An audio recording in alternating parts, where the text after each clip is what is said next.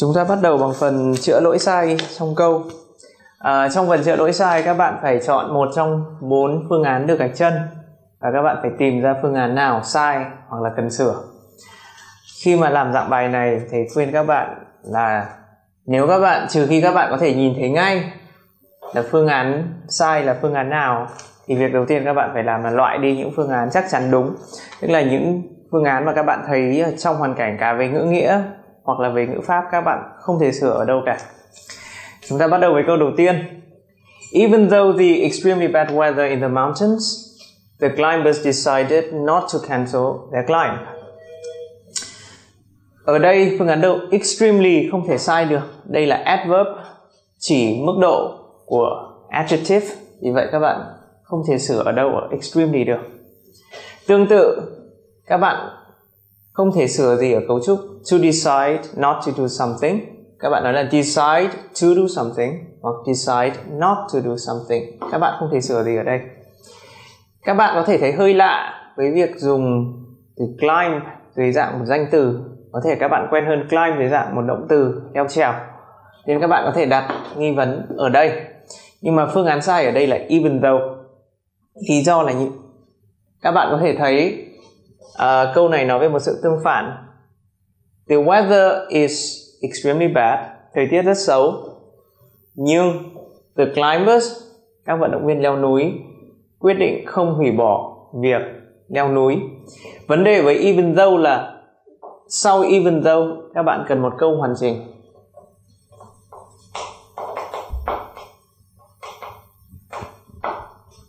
The extremely bad weather in the mountains không phải là một câu hoàn chỉnh mà chỉ là một cụm danh từ. Vì vậy các bạn không thể bắt đầu bằng even though. Các bạn sẽ phải sửa lại hoặc là giữ nguyên nhóm danh từ và thay bằng despite. Hoặc nếu các bạn muốn even though các bạn phải sửa lại hoàn toàn câu này. Even though the weather in the mountains was extremely bad, the climbers decided not to cancel their climb.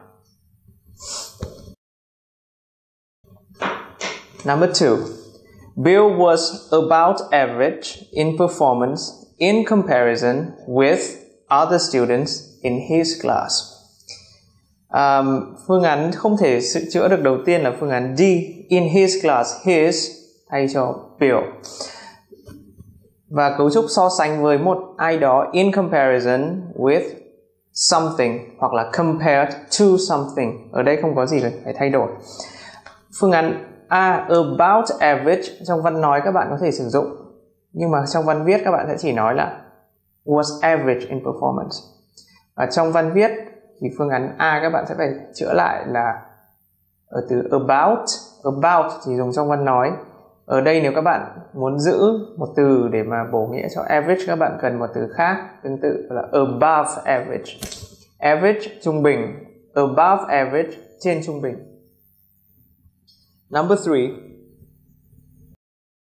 The media have produced live covering of Michael Jackson MJ's fans around the world. Mourning for him. Ở đây, fans around the world hoàn toàn không có vấn đề gì cả. Một nhóm danh từ các những người hâm mộ Michael Jackson. Morning for him. Morn morning. Trông hơi giống từ morning buổi sáng phải không morning xuất phát từ động từ to mourn. Là trạng thái khi mà để tang một người.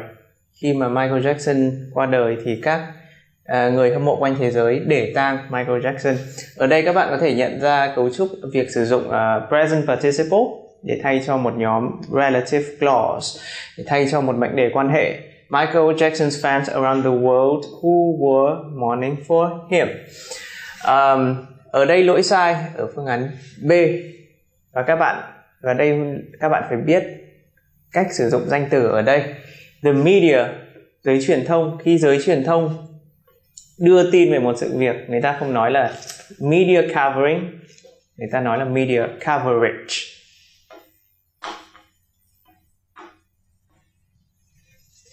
hoặc ngoài ra các bạn có thể phương án A là phương án có thể đánh lừa mọi người bởi vì the media nghe mới nghe thì có thể giống một danh từ số ít.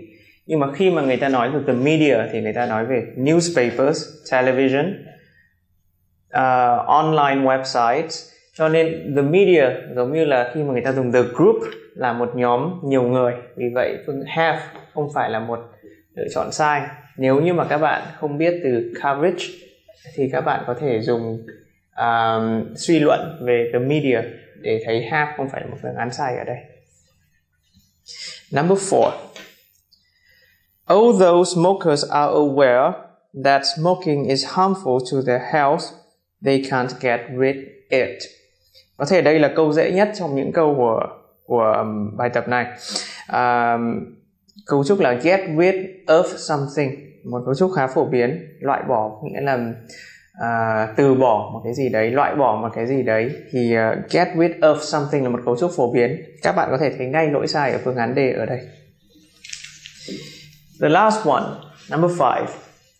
Found in the 12th century, Oxford University ranks among the world's oldest universities. The world's oldest universities, không có vấn đề gì ở đây phải không? To rank among, xếp loại trong số, tức là trường đại học Oxford nằm trong số những trường đại học cổ nhất trên thế giới, rank và among, hoàn toàn không có vấn đề. Found, vấn đề với động từ found ở đây là các bạn có thể thấy câu đây câu này bắt đầu bằng một à, uh, phân từ quá khứ past participle và nếu các bạn giữ found thì động từ nguyên thể là find. Vậy thì câu này nếu như mà các bạn giữ nguyên found thì sẽ có nghĩa là trường đại học Oxford được người ta tìm thấy vào thế kỷ thứ 12 nó hoàn toàn không có nghĩa. Found ở đây các bạn muốn dùng với nghĩa là thành lập. Vậy thì với nghĩa là thành lập thì ngay động từ nguyên thể đã là to found. Thì nếu các bạn muốn giữ động từ đó thì các bạn phải dùng past participle founded. Founded in the 12th century Oxford University ranks among the world's oldest universities. Uh, found và các bạn cũng có thể nhớ một vài động từ một vài cái từ liên quan đến um, động từ to, to found một người thành lập chẳng hạn sẽ là a founder. Sự thành lập là foundation. Và foundation có một nghĩa chuyển, có một nghĩa bóng là nền tảng của một cái gì đó. Nền tảng của một cái giới gì đó giống như là khi mà người ta sáng lập ra một cái gì đấy thì tất nhiên là người ta là nền tảng cho cái đó. Chúng ta tiếp tục với phần đọc. Thầy biết là phần đọc là một phần mà nhiều bạn hơi sợ một chút, bởi vì là nó đôi khi có rất nhiều từ mới, hoặc đôi khi nó sẽ rơi vào một cái đề tài mà các bạn không thích hoặc không quen biết và các bạn sẽ gặp rất nhiều từ ngữ chuyên ngành và một vài bạn thì chỉ đơn giản sợ phần đọc bởi vì các bạn thấy một đống tiếng Anh rất dài à, Hôm nay thì ờ, thầy sẽ chữa bài đọc về đề tài mặt trời. Đây là bài đọc về lĩnh vực thiên văn học astronomy. Khi mà làm dạng bài đọc thì có một lời khuyên mà thầy dành cho các bạn là các bạn luôn nên bắt đầu bằng bài đọc với đề tài mà các bạn cảm thấy quen thuộc nhất. Bởi vì nếu các bạn quen thuộc với đề tài thì có thể là các bạn có kiến thức về đề tài và những câu hỏi sẽ không đặt ra khó khăn gì với các bạn nếu các bạn có kiến thức về đề tài hoặc có thể nếu các bạn thích cái đề tài đó thì có thể các bạn đã đọc về đề tài đó ở đâu đó có thể là trên các trang web hoặc là trong các tạp chí thì các bạn sẽ quen thuộc hơn với nội dung được đề cập đến trong bài đọc. À, thầy chọn đề tài hôm nay thầy sẽ chọn đề tài mà thầy thích nhất à, là đề tài thiên văn học. Là chúng ta sẽ đọc một bài về life and death of the sun. Cái uh, tiến trình uh, phát triển và cái chết của mặt trời. À, trước khi bắt đầu thì uh, chúng ta luôn nên bắt đầu bằng việc trước khi bắt đầu đọc các bạn luôn nên xem xét các câu hỏi để xem xem các thông tin các bạn phải tìm là gì. Và cũng như là các bạn nên quen thuộc với những dạng câu hỏi mà các bạn sẽ gặp trong bài đọc. Thứ nhất, it can be inferred from the passage that từ bài đọc người ta có thể suy luận, người ta có thể nói là to infer hoặc là các bạn có thể nhìn thấy từ to imply thì hai câu hỏi này hoàn toàn là một. Trong dạng câu hỏi này các bạn sẽ có thể, sẽ có bốn phương án. Và và các bạn phải xem xem từ thông tin trong bài đọc thì điều gì trong bốn phương án này là đúng. Vậy thì về cơ bản, đây là một câu hỏi true or false?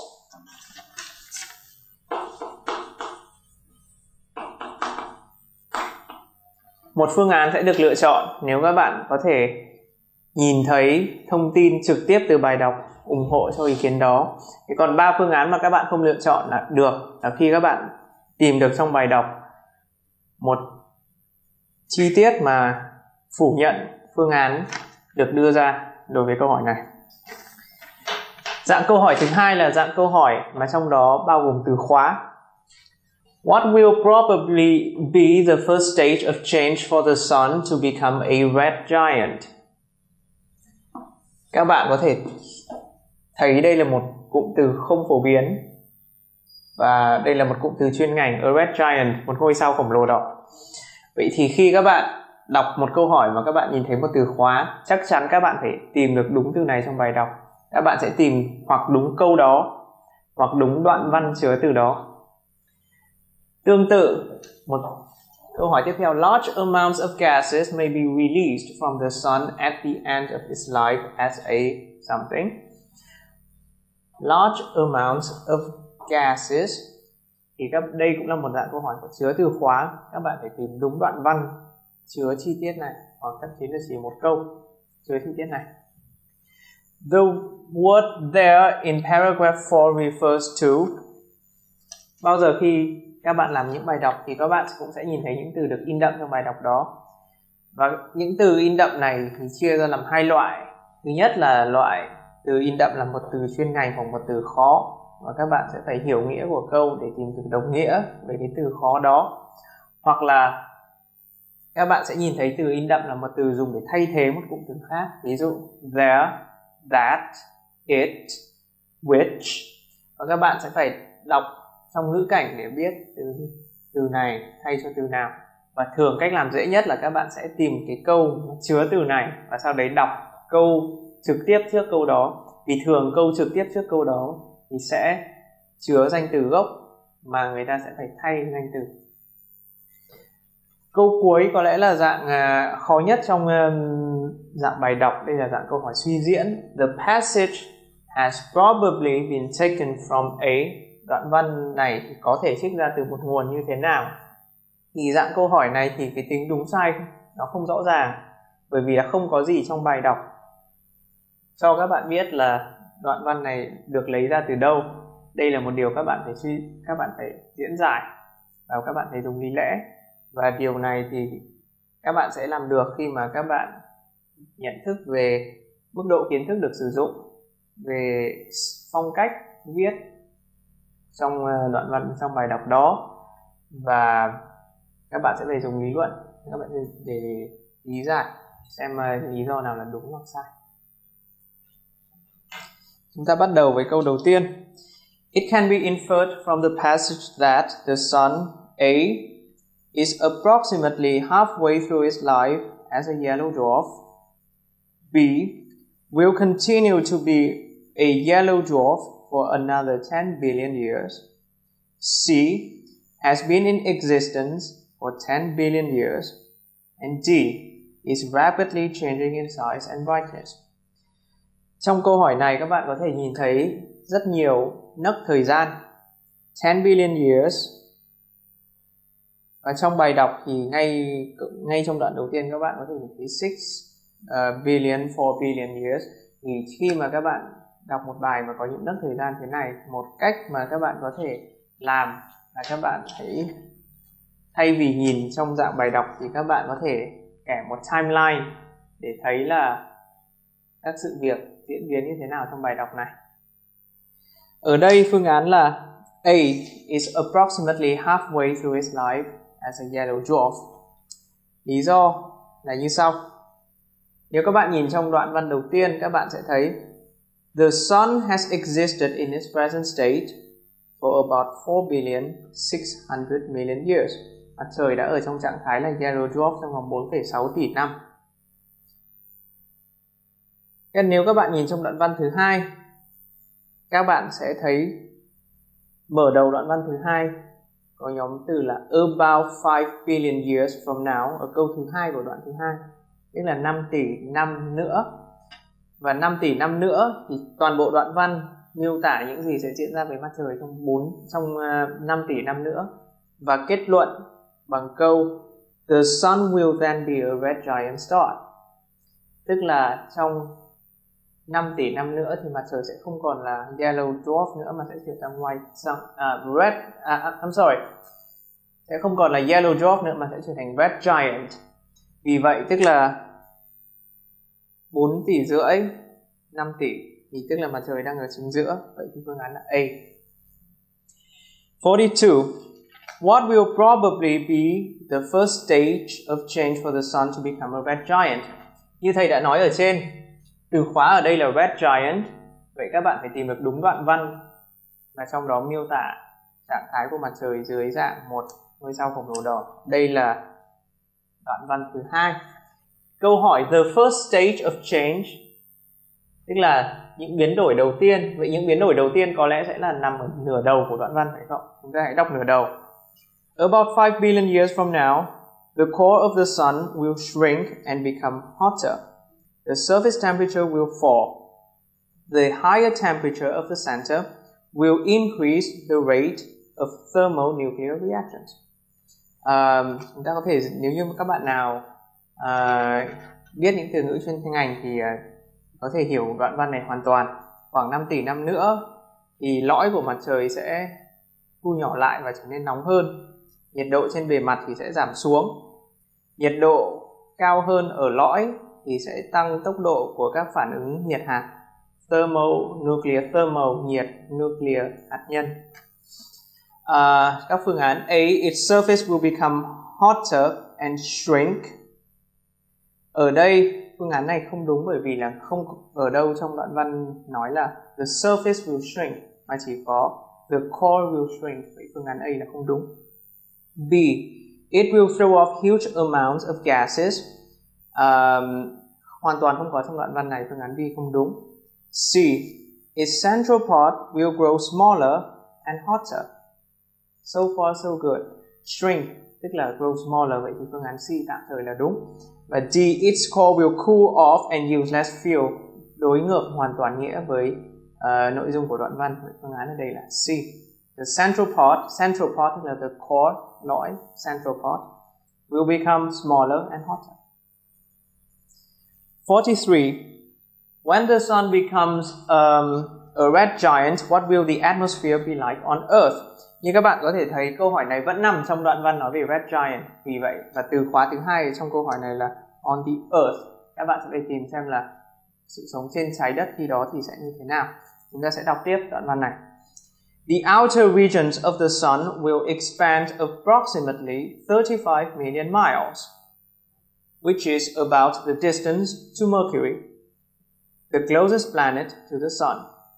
The sun will then be a red giant star. Temperatures on the earth will become too high for life to exist.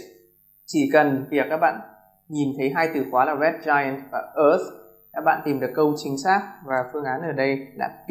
It becomes too hot for life to exist. Cũng tương đối dễ hiểu khi mà mặt trời trở nên to hơn và và cái vỏ bên ngoài được đẩy ra đến 35 triệu km thì tất nhiên là mặt trời sẽ gần trái đất hơn phải không ạ? Và như thế thì the surface will become too hot. 44. When the sun has used up its energy as a red giant, it will ở đây các bạn sẽ use up its energy to use up là hoặc là đốt hết đốt hết năng lượng như vậy các bạn có thể hiểu để theo cái trình tự đó. Um, chi tiết diễn ra trong đoạn văn đây sẽ rơi vào đoạn văn tiếp theo. Chúng ta bắt đầu đoạn văn thứ ba. Once the sun has used up its thermonuclear energy it will begin to shrink. It will shrink to the size of the earth and become a white dwarf star. Hai sự việc thứ nhất là nó sẽ nhỏ lại và thứ hai là sẽ nhỏ lại chỉ còn bằng trái đất. Và dưới dạng mới thì tên mới của nó là a white dwarf star. Um, các phương án ở đây A. Get frozen B. Cease to exist C. Stop to expand và D. Become smaller. Ở đây the sun begins to shrink. Vậy thì phương án là D. Become smaller. Ở đây các bạn có thể thấy có hai phương án mà có thể hơi giống nhau một chút. C. Stop to expand không nở ra nữa và D. Become smaller. C cũng đúng, phương án C cũng đúng mà trời sẽ không nở ra nữa thì cũng đúng. Nhưng mà stop to expand cũng có thể hiểu theo nghĩa là stay in the same size, cũng có thể hiểu theo nghĩa là nó sẽ giữ nguyên cái kích cỡ đó. Vì vậy thì phương án D là đúng hơn, bởi vì nó gần với từ khóa là shrink dùng trong bài đọc. 46 as a white dwarf, the sun will be. Ở đây giống trong dạng câu hỏi có từ khóa các bạn phải tìm đúng đoạn văn mà có từ white dwarf đoạn văn thứ ba Chúng ta đọc nốt đoạn văn này. The sun may throw off huge amounts of gases in violent eruptions called nova explosions as it changes from a red giant to a white dwarf. À, uh, 45. Large amounts of gases may be released from the sun at the end of its life as a red giant. Đúng không? Bởi vì là cái việc Wait a minute. I'm sorry. Um, the sun may throw off huge amounts of gases in violent eruptions as it changes from red giant to a white dwarf. Tức là trong quá trình biến từ red giant thành white dwarf thì việc cuối cùng mà mặt trời sẽ làm trước khi biến thành white dwarf là throw off the gases. Vậy thì the end of its life cycle as a red giant. Các bạn có thể bị nhầm và lựa chọn uh, white dwarf ở đây bởi vì các bạn nhìn thấy thông tin này trong đoạn văn nói về white dwarf.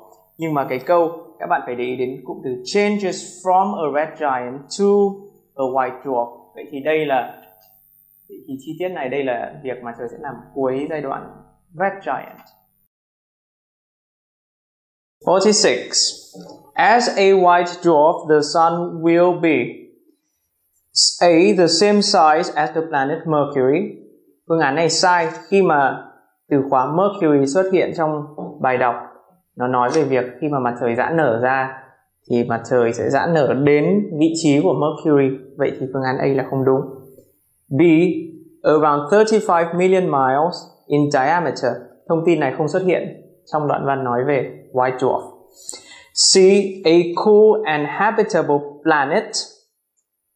Không có gì trong đoạn văn về white dwarf nói về việc mặt trời sẽ trở thành một planet. Vậy thì ở đây là sự sai về từ khóa phương án C là không đúng. Và D, thousands of times smaller than it is today. Đây là một phương án mà các bạn cần phải suy luận. Các bạn hãy nhìn lại đoạn văn thứ ba. After it shrinks to the size of the earth tức là trong trạng thái white dwarf mặt trời sẽ nhỏ lại chỉ còn bằng trái đất thôi và bây giờ các bạn hãy nhìn câu cuối cùng của đoạn văn đầu tiên. Dòng cuối cùng, thousands of times larger than the earth. Đây là đoạn văn nói về trạng thái của mặt trời hiện tại, tức là mặt hiện tại thì mặt trời to hơn trái đất hàng nghìn lần. Và sau đấy thì đoạn văn thứ ba nói về việc mặt trời sẽ chỉ còn kích cỡ bằng trái đất, tức là mặt trời sẽ nhỏ đi hàng nghìn lần. Vậy phương án là G. 47. The sun will become a black dwarf when ở đây có một từ khóa mới là black dwarf, cho nên các bạn biết là các bạn sẽ phải đọc trong đoạn văn thứ tư A. The sun moves nearer to the earth B. It has used up all its fuel as a white dwarf C. The core of the sun becomes hotter and D. The outer regions of the sun expand nếu các bạn đã mới đọc đến điểm này thì các bạn biết ngay phương án không phải là B đúng không? Bởi vì là phương án B, the outer region of the sun expand là giai đoạn Red Giant chứ không phải giai đoạn Black Dwarf. Chúng ta sẽ đọc đoạn văn này. After billions of years as a white dwarf, the sun will have used up all of its fuel and will have lost its heat. Such a star is called a black dwarf. Đoạn văn này miêu tả định nghĩa, đưa ra định nghĩa của black dwarf, sao lùn đen. Vậy thì cụm từ khóa ở đây là use up its fuel and lost its heat. Phương án là B. 48. The word there in, para- in the last paragraph refers to chúng ta sẽ tìm đúng câu có từ there và sau đó chúng ta sẽ tìm đúng câu ngay trước đó để xem xem là có từ nào có thể phải lặp lại để mà thay thế bằng there. After the sun has become a black dwarf, the earth will be dark and cold. If any atmosphere remains there, it will have frozen over the earth's surface. Khi mặt trời đã trở thành một ngôi sao lùn đen thì trái đất đến lúc đó thì trái đất đã tối và lạnh. Nếu vẫn còn khí quyển thì khí quyển đã đóng băng trên bề mặt trái đất. Rõ ràng câu này nói về khí quyển của trái đất. Vậy thì there trong tình huống này nói về the earth. Phương án ở đây là C, our own planet, the earth. 49. 49. This passage is intended to câu đoạn văn này cùng dạng với dạng câu hỏi suy luận. Các bạn sẽ phải dùng lý lẽ của mình để loại bỏ những phương án nào chắc chắn không phải là đúng. A. Describe the changes that the sun will go through. Đoạn văn có nói về những thay đổi tương lai của mặt trời với phương án A, tạm thời là đúng. B. Present a theory about red giant stars. Thứ nhất là đoạn văn này không tập trung vào các ngôi sao khổng lồ đỏ nói chung và cũng không đưa ra một theory nào cả. Theory là một lý thuyết, một giả thuyết. Tất cả những điều được đưa ra trong đoạn văn đều là những sự thật, fact. Cho nên phương án B, theory là không đúng. C. Alert people to the dangers posed by the sun. Đoạn văn không nói gì về những nguy hiểm được đưa ra. Tất nhiên là có nói đến những nguy hiểm về việc uh, trái đất trở nên quá nóng trong giai đoạn mặt trời biến thành một ngôi sao khổng lồ đỏ nhưng đó không phải là nội dung chính của đoạn văn bởi vì nếu nội dung chính là to alert people to the dangers posed by the sun thì sẽ phải có những sẽ phải có những chi tiết nói về việc là người ta có thể phòng chống như thế nào và sẽ ảnh hưởng như thế nào đến con người? Vậy thì nội, đây không sẽ không thuộc vào nội dung chính. Vậy thì phương án các bạn không thể chọn C được. D. Discuss conditions on the earth in the far future. Đoạn văn có miêu tả những điều kiện sống trên trái đất. Nhưng mà nếu như mà tập trung chủ yếu vào trái đất thì cụm cũng từ the sun sẽ không xuất hiện nhiều đến như vậy. Cho nên đây chỉ là một cái ý phụ trong đoạn văn, trong à, bài đọc này ở mỗi đoạn văn thì người ta miêu tả là mặt trời đến giai đoạn nào sẽ như thế nào và trái đất lúc đó sẽ như thế nào phần về Earth chỉ là một ý phụ Vậy thì nếu như mà câu hỏi là the passage is intended to thì các bạn sẽ phải tìm được cái ý trọng tâm. Vậy thì câu trả lời là A. And 50, this passage um, has probably been taken from A. A scientific journal, một tạp chí về khoa học. B. A news report, một phóng sự bản tin. C. A work of science fiction, một tác phẩm khoa học viễn tưởng. And D. A scientific chronicle, một bản niên đại à, tính khoa học hai lựa chọn sai hoàn toàn ở đây là một phóng sự bản tin bởi vì một phóng sự bản tin thì sẽ phải đưa ra những gì liên quan đến thời điểm hiện tại vậy thì B là không đúng và a work of science fiction cũng không đúng đây chỉ là science science là một là khoa học và người ta nói về những gì luôn luôn đúng science fiction là những gì người ta tưởng tượng ra. Vậy thì phương án C là sai ở đây. A, a scientific chronicle khác a scientific journal. Chỗ a scientific chronicle thì đưa ra một nếu các bạn có thể chronicle.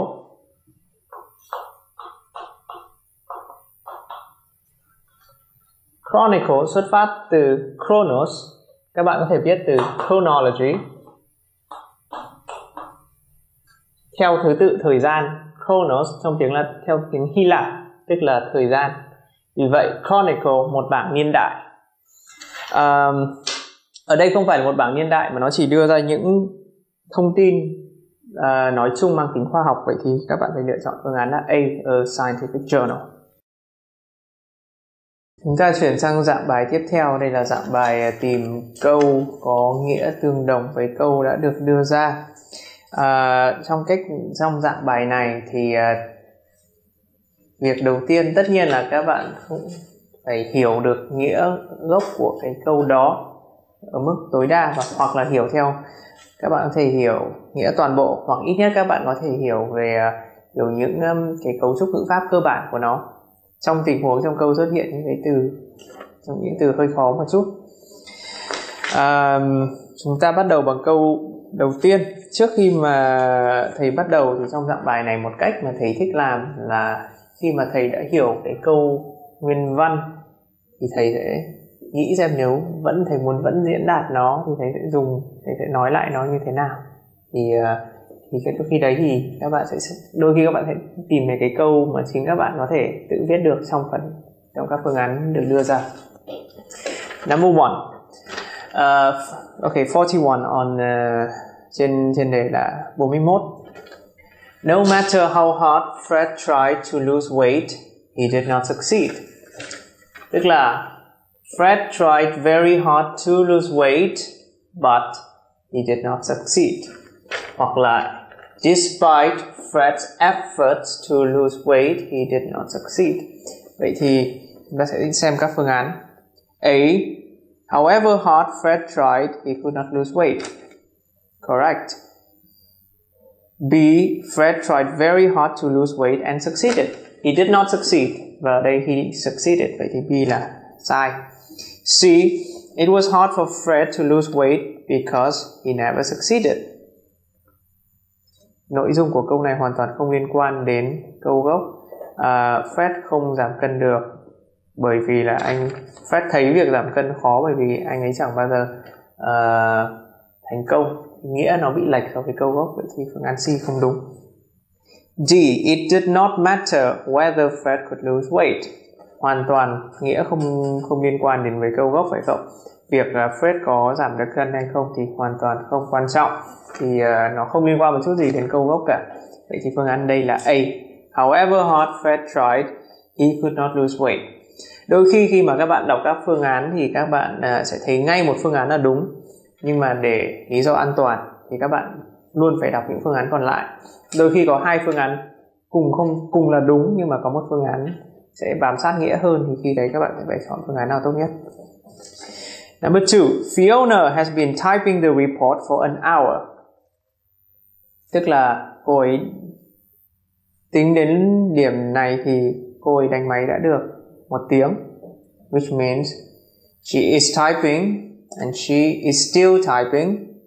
It, she has done it for an hour and she has not yet finished. Cấu trúc ở đây thì là thời have been plus phần từ 2. À, à, xin lỗi verb in. have been, has been, uh, verb in. A. It took Fiona an hour to type the report. Nghĩa câu này bị lệch bởi vì là Fiona chưa đánh máy xong. Vậy thì không thể nói là Fiona mất một tiếng để đánh máy. B. It is an hour since Fiona started typing the report. Câu này đúng với nghĩa mà thầy đã giải thích. Cô ấy đã đánh máy được một tiếng và vẫn chưa xong. Cô ấy bắt đầu được một tiếng trước đây. Vậy thì B. So far so good. C. Fiona finished the report an hour ago. Giống câu A, Fiona has not finished. C is incorrect. D. Fiona will finish typing the report in an hour. Câu này hoàn toàn lệch nghĩa so với câu gốc. Vậy thì phương án ở đây là B. 43. Soil erosion is a result of forests being cut down carelessly. Um, rửa trôi là kết quả của việc rừng bị phá một cách bừa bãi. Uh, câu này chỉ một cái quan hệ nguyên nhân và hệ quả. Soil erosion rửa trôi là kết quả của việc phá rừng. Việc phá rừng gây ra nạn rửa trôi. Một cách làm mà thầy khuyên các bạn, khi mà trong tình huống các bạn không biết những từ những từ chính, ví dụ nếu các bạn không biết từ soil erosion, thì các bạn có thể simplify như sau ấy, các bạn có thể thay thế toàn bộ từ khóa này bằng ấy. Các bạn có thể thay thế toàn bộ. Nguyên nhân này là bí.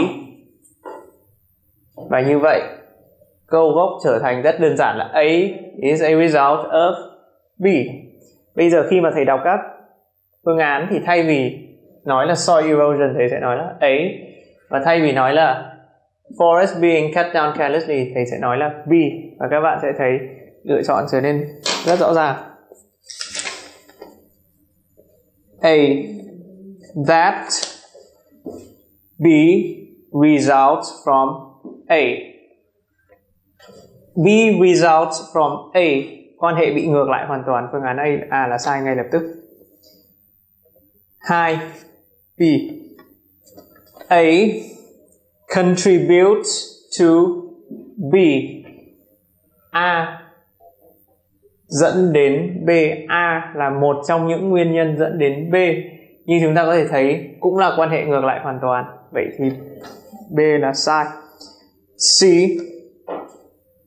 That B leads to A quan hệ này tạm thời là đúng. That forests are being cut down carelessly leads to soil erosion tạm thời là đúng. D. A. Results in B. A gây ra B. Quan hệ bị ngược nghĩa hoàn toàn. Vì vậy phương án ở đây là C. Cách làm này à, nếu các bạn làm theo cách làm của theo cách làm này các bạn sẽ không bị cái câu trở nên dễ dàng hơn. Các bạn không phải lo về ngữ nghĩa các bạn chỉ cần phải lo về gần như là trở thành một bài toán về logic và các bạn sẽ chỉ cần phải nhớ những cái cụm từ chính ví dụ như là results from A results from B. Chúng ta sẽ nhìn lại tất cả những cái cụm từ chỉ quan hệ uh, nguyên nhân hệ quả. Đây. A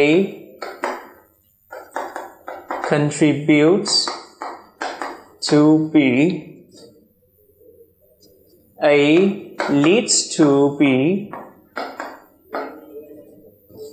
và A results in B. Và chúng ta sẽ phải phải vào câu trong trong câu gốc, a result of B, tức là quan hệ đúng là B dẫn đến A chúng ta sẽ nhìn trong những cái phương án này là quan hệ nào là đúng. A results in B. A dẫn đến B. Là sai. A results from B. B dẫn đến A. Đúng. A contributes to B. A làm đóng góp vào việc xảy ra B vậy thì ở đây là A dẫn đến B, sai. Và A leads to B trực tiếp, thì phương án này là sai. Number 44 I will not leave until I see the manager, said the customer. Khi các bạn nhìn thấy một câu gốc trong dạng bài này, dưới dạng trích dẫn trực tiếp, các bạn sẽ biết ngay, các phương án sẽ đưa ra một dạng câu rắn, nói gián tiếp. Vậy thì các bạn sẽ phải hiểu, nếu như mà câu này được chuyển thành dạng nói gián tiếp thì sẽ như thế nào và như các bạn có thể nhớ là trong ngữ pháp ở trường các bạn có học, thì dạng nói gián tiếp thì có nhiều hơn động từ to say, có rất nhiều dạng động từ dẫn khác nhau vậy thì các bạn trong tình huống này các bạn sẽ phải xem xem động từ dẫn nào là động từ chính xác nhất A. The customer refused to leave until he saw the manager. Khách hàng từ chối rời khỏi uh, cửa hàng cho đến khi gặp giám đốc. So far so good. A. B. The customer decided to leave because he did not see the manager. Câu này sai hoàn toàn về ngữ nghĩa. I will not leave chứ không phải là I have left. Vậy thì B là sai. C. The customer said he would leave before he saw the manager. Ngược nghĩa, I will not leave until I see. Tức là I will see him, then I will leave. Chứ không phải là I will leave before I see him. Câu này ngược về vấn, về ngữ nghĩa thì cũng không đúng. Và D. The customer was persuaded to see the manager before leaving. Người ta khuyên ông khách hàng này gặp người quản lý trước khi ra về thì cũng không đúng với nghĩa của câu.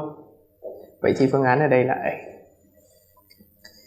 45. Walking on the grass in the park is not permitted.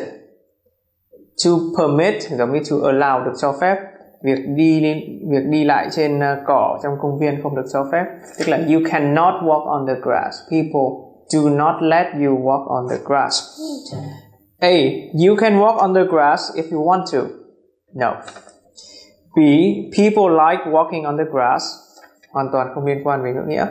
C. We must not walk on the grass in the park. This is correct. D. We do not have to walk on the grass in the park. Uh, do not have to không cần phải làm tức là chúng ta có quyền được làm nhưng mà không phải làm như vậy. Vậy thì phương án D mới thì và nó khác với C we must not. Khác nhau giữa must và have to. Must là theo là theo quy định các bạn không được làm như vậy. Thì phương án ở đây là C. 46 She did not study hard enough to win the scholarship ở đây thì rõ ràng các bạn sẽ, những cái phương án trả lời thì sẽ xoay quanh nhóm từ là not enough to do something câu này tức là, She did not study hard. She studied less than she must. So, she did not win the scholarship. Not, điều quan trọng ở đây trong câu này bởi vì nhìn thấy cụm từ not enough, cho nên các bạn phải hiểu điều quan trọng là she did not win the scholarship. Vậy thì chúng ta đọc các phương án. A. Winning the scholarship did not make her study harder sai ngay lập tức bởi vì là she did not win the scholarship. B. She studied hard, but she could not win the scholarship. Ở phương án này thì đúng ở nhóm từ là she could not win the scholarship, nhưng mà bởi vì là trong câu gốc nói về việc cô ấy học không đủ chăm chỉ vậy thì phương án B các bạn phải đặt dấu chấm hỏi. C. It was very hard for her to win the scholarship. It was very hard for her to win the scholarship thì tức là It is very hard, but she won the scholarship. Vậy thì phương án này cũng không đúng. D. She could have won the scholarship if she had studied harder. Tức là nếu cô ấy học chăm chỉ hơn thì có thể cô ấy đã được cái học bổng đấy. Thì cái này đúng với nghĩa của câu gốc. Vậy thì phương án ở đây là D. 47. To my surprise, the stranger knew my name. A. What surprised me most was the stranger's name. B. I was surprised that the stranger knew my name. C. My name was the only thing the stranger knew. D. It surprised the stranger that I knew his name. Vậy thì ở đây các bạn chỉ cần tìm theo đúng cái nhóm cái từ khóa là my name vậy thì tất cả những câu nào mà xuất hiện his name và the stranger's name thì các bạn có thể loại bỏ ngay lập tức à, và ở đây thì nói về việc là To my surprise thì tức là I am surprised that. Vậy thì phương án là B. I was surprised that the stranger knew my name. 48. The situation was so embarrassing that she did not know what to do. Các bạn phải để ý ngay lập tức đến cụm từ so that. Um, the situation was very embarrassing. It was very embarrassing. But she did not know what to do. Trong những phương án này có một điều tương đối thú vị sẽ xảy ra. Chúng ta sẽ nhìn qua các phương án. A. It was such an embarrassing situation. However, she did not know what to do. Câu này bị sai ở điều như sau. However là chỉ một cái điều đối lập, một cái điều tương phản. Vậy thì ở vế thứ nhất của phương án A, it was an embarrassing situation. Đây là một tình huống khó xử tuy nhiên vậy thì tuy nhiên thì phải chỉ ra một cái điều ngược lại however she knew what to do thì tuy nhiên khó xử nhưng cô ấy vẫn giải quyết được thì như vậy mới là cách dùng however đúng. Vậy thì ở đây she did not know what to do là sai về quan hệ nghĩa tương phản của however. Các bạn không thể lựa chọn phương án A. B. So embarrassing the, situ- the situation was that she did not know what to do. Về ngữ nghĩa là đúng, về ngữ nghĩa của câu này là đúng. Tức là tình huống rất khó xử cho nên cô ấy không biết làm như thế nào. Nhưng mà các bạn có thể để ý như sau khi câu bắt đầu bằng so embarrassing, vậy thì ở đây là một câu dạng đảo. Và khi mà câu dạng đảo thì chắc chắn động từ was sẽ phải đi lên trước chủ ngữ. Như vậy thì câu B là đúng về ngữ nghĩa nhưng sai về ngữ pháp. Người ta phải nói là so embarrassing was the situation. Vậy thì phương án B là sai. Chỉ cần thế thì các bạn có thể nhìn thấy ngay phương án D là đúng. So embarrassing was the situation that she did not know what to do. Vậy thì phương án D là đúng. Nhưng mà để cho an toàn chúng ta phải vẫn phải đọc phương án còn lại. C.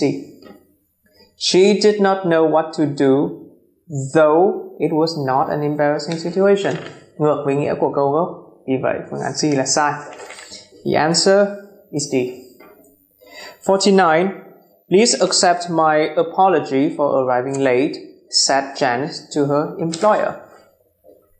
Nó giống với dẫn câu 44 ở chỗ là các bạn có một cái câu trích dẫn trực tiếp. Và ở đây các bạn sẽ phải tìm từ dẫn cho câu nói gián tiếp. Và vì ở đây trong câu ờ, dẫn trực tiếp các bạn nhìn thấy từ apology, lời xin lỗi, vậy thì có khả năng động từ sẽ là apologize. Chúng ta sẽ nhìn ngay lập tức thì câu trong phương án A. Janet apologized to her employer for her late arrival ngay lập tức phương án A là đúng nhưng chúng ta vẫn sẽ phải đọc những phương án còn lại B. Janet had to make an apology because her employer demanded it. Uh, trong câu này thì chỉ là lời của Janet chứ không nói gì về việc là employer, ông chủ bắt Janet phải xin lỗi. Vậy phương án không phải là B. C. Janet quickly made an apology and the employer accepted it. Đây một lần nữa đây chỉ là câu nói của một người chứ không phải kể lại sự việc cho nên C không phải là phương án đúng. Và D. Janet thought that she would apologize to her employer. Nếu chỉ trong suy nghĩ thì cô ấy sẽ không nói là please accept my apology. Vậy phương án ở đây là A.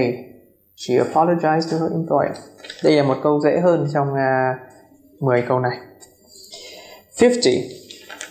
She prefers going to the library to staying at home. Các bạn sẽ phải tìm trong những câu tiếp theo một cụm từ đồng nghĩa với prefers to do something. To. A. She would rather go to the library than stay at home. So far, so good. B. She likes nothing better than going to the library. Câu này không có nghĩa liên quan đến câu gốc, vậy thì phương án B không đúng. C. She does not like either going to the library or staying at home. Cô ấy không thích làm cả việc nọ cả việc kia. Đây cũng không phải là quan hệ nghĩa đúng trong câu gốc, vậy thì C không đúng. Và D. She stays at home instead of going to the library. Nghĩa cũng không liên quan, phương án là A. Would rather do something than something muốn làm việc gì hơn việc gì thà làm việc gì hơn làm việc gì. Vậy phương án ở đây là A.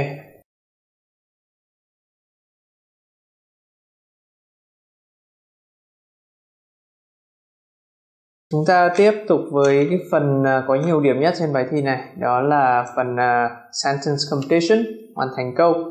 Phần này là một phần mà nhiều bạn thích bắt đầu bằng phần này vì hai lý do. Thứ nhất đây là phần nhiều điểm và các bạn có thể bắt đầu ngay lập tức uh, khi mà mức độ tập trung của các bạn còn tốt. Và thứ hai là bởi vì là phần này các bạn sẽ làm việc với từng câu ngắn gọn hơn cho nên là cái đòi hỏi về tư duy cũng ít hơn so với những, um, những phần khác. Và thầy cũng khuyên các bạn nên bắt đầu bằng phần này vì thực ra là có lẽ đây là một trong những phần à, mà nếu tính từng câu ra thì à, mức độ nặng nó nhỏ hơn các phần khác. À, chúng ta bắt đầu. Number one. Space he arrived at the bus stop when the bus came. À, các bạn có thể nhận ra ngay lập tức trong um, các phương án. No long no sooner had và hardly had là những dạng đảo đảo câu phổ biến và điều quan trọng trong dạng uh, câu này là việc uh, động từ được đào lên trên trước chủ ngữ. Uh, một điều các bạn có thể làm ngay ở trong câu này và một cách làm đối với nhiều câu khác nữa là nếu các bạn nhìn thấy một cấu trúc mà các bạn thấy chắc chắn là sai không chưa bao giờ các bạn nhìn thấy thì các bạn biết là ngay lập tức đó không phải là phương án. No longer has không ai dùng cụm từ này cả tương tự not until had. Not until cộng với một câu không thể bắt đầu tiếp tục. Không thể tiếp tục not until bằng một động từ ngay lập tức. Uh, ở đây các bạn có hai phương án là no sooner had và hardly had. No sooner had he arrived at the bus stop và hardly had he arrived at the bus stop. Ở đây hai phương án nghe đều có vẻ đúng nhưng các bạn phải bám vào từ when người ta nói là, no sooner had he arrived at the bus stop than the bus came. Chứ không phải là no sooner had he arrived when the bus came. Bởi vì sai từ khóa là than nên phương án ở đây là D hardly had he arrived at the bus stop when the bus came. Phương án ở đây là D number 41 there should be an international law against A. Afforestation B. Deforestation C. Forestry and D. Reforestation um, từ khóa ở đây là against các bạn phải chống lại một điều gì đó xấu ở đây Uh, đây là những cái từ xuất hiện đây là những từ vựng xuất hiện trong uh, chương trình phổ thông của chúng ta. Uh, nên có một cái luật quốc tế chống lại việc phá rừng. Vậy thì phương án phá rừng là deforestation. Um, từ nếu xét về mặt từ vựng thì phương án A afforestation hoàn toàn từ này không tồn tại. Forestry là ngành kiểm lâm. Vậy thì nó không có gì mà phải chống lại. Reforestation là việc trồng rừng tất nhiên là không có gì người ta nên chống lại. B deforestation number three Susan's doctor insists for a few days. He insists that she is resting insists her resting insists that she rest insists her to rest. Các bạn phải nhớ cấu trúc của insist to insist on something insist on doing something hoặc là insist that someone do something. Ở đây, bác sĩ của Susan bắt buộc cô ấy phải nghỉ ngơi. Vậy thì nó sẽ là hoặc là that she rest hoặc là her resting. Vấn đề với phương án B là người ta nói là Susan's doctor insists on her resting. Vậy thì phương án B là không đúng.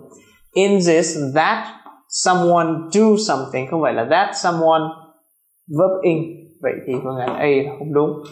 Và insist someone to do something là một cấu trúc không tồn tại. Người ta nói là to command someone to do something, to order someone to do something, to advise someone to do something. Nhưng người ta nói là to insist that someone do something. Vậy thì ở đây là C các bạn phải các bạn có thể mới nhìn phương án C, C các bạn có thể nghĩ là sai bởi vì là she rest động từ không chia ở đây. Nhưng mà nó thuộc về cấu trúc nguyên bản insist that someone do something chứ không phải là that someone does something. Number four I will not change my mind what you say. I won't change my mind whether no matter because although đây là về mặt ngữ nghĩa. Tôi sẽ không đổi ý kiến của tôi cho dù anh có nói gì. Vậy thì nó sẽ là, I won't change my mind. Whatever you say. Hoặc là, no matter what you say. Phương án ở đây là B number five. My mother told me to something for an electrician when her fan was out of order. Mẹ tôi bảo tôi gọi một người thợ điện khi mà cái quạt của mẹ bị hỏng. À, vậy thì ở đây các bạn thấy là một động từ đi kèm với một giới từ. Đây là các dạng phrasal verb và các bạn sẽ phải xem xem dạng nào là đúng. To write for người ta nói là to write to chứ không phải to write for. To send for send for someone tức là to call someone to ask the help of someone. Vậy thì phương án A tạm thời là đúng to rent người ta thứ nhất có hai vấn đề. Thứ nhất là người ta không nói là to rent for người ta nói là to rent something. Và thứ hai rent không dùng với người. Rent theo nghĩa là thuê theo nghĩa là thuê nhà thuê phòng. To rent a house to rent an apartment but not to rent someone. Thuê ai đó người ta sẽ gọi là to hire someone. Và người ta cũng không nói là to turn for to turn um, to turn to. I had to turn to an electrician. Tôi phải nhờ đến sự giúp đỡ của ai đó. Chứ người ta không nói là to turn for ở đây các bạn phải biết được cấu trúc to send for đây là một phrasal verb với nghĩa là to call.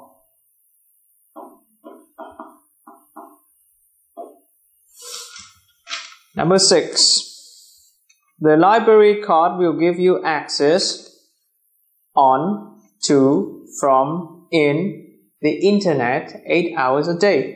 Cấu trúc của access là to have access to something hoặc là to access something. Vậy thì ở đây phương án là B, to have access to something. The last one, câu cuối cùng.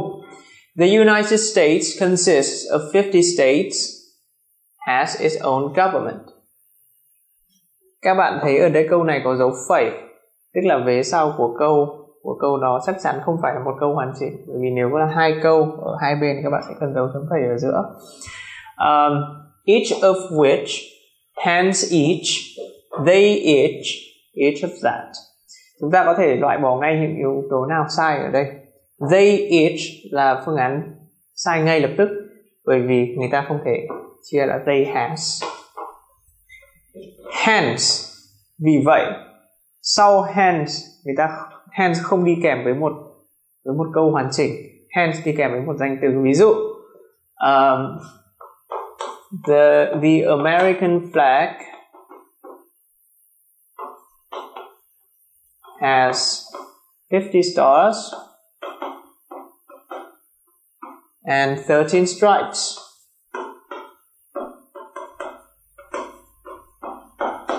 Hence the nickname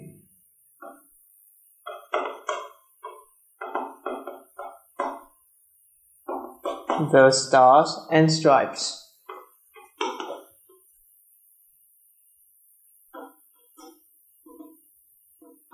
Đây là cách dùng hence. Người ta không nói là hence each has its own government.